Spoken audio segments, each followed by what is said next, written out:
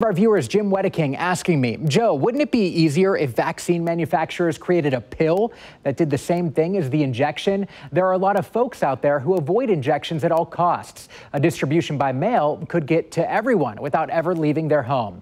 It's a good question, and this is actually what a possible pill could look like. Here's more on what we know about this. The COVID 19 treatment in pill form is currently being researched and developed. It, results are showing early promise. It would be similar to something like Tamiflu for the pandemic. Merck & Co. and biotech partner Ridgeback Biotherapeutics are developing this pill.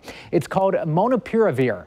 It would work as an at-home five-day treatment. It would stop the virus from reproducing before causing major damage. And the goal of the pill is to reduce the time it takes to get a negative test following infection. Results released just this week are showing it works so far. In the 202 participants involved, those who were given the pill over a placebo tested negative after five days, virtually stopping the virus in its tracks. And there are also no side effects of concern right now. Doctors studying this drug say it could be, quote, a holy grail, and it could also be here in as little as four to five months. We'll keep you updated on that. But keep in mind, there is a lot more studying that needs done on this experimental drug.